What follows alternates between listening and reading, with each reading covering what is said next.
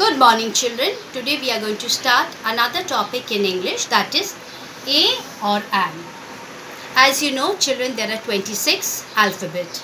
They are A, B, C, D, E, F, G, H, I, J, K, L, M, N, O, P, Q, R, S, T, U, V, W, X, Y, Z.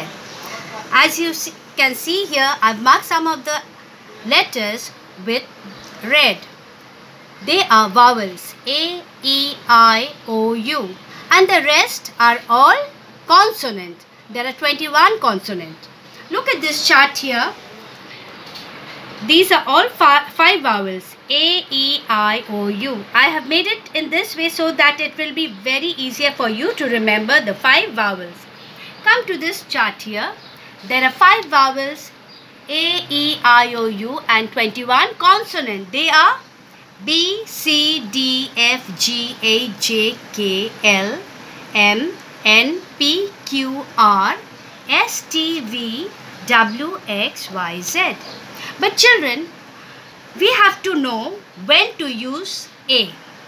We use A before a word that begins with a consonant. For example, a ball. The first letter is B. You can see here B is a consonant.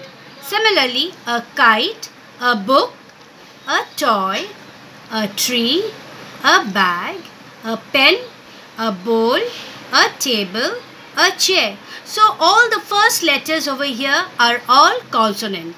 Now we come to an. When to use an? We use an before a word that begins with a vowel. You know the five vowels. They are A, E, I, O, U. Examples An axe A the first letter is a vowel. An egg, an owl, an igloo, an umbrella, an apple, an eagle, an ice cream, an orange, an urn.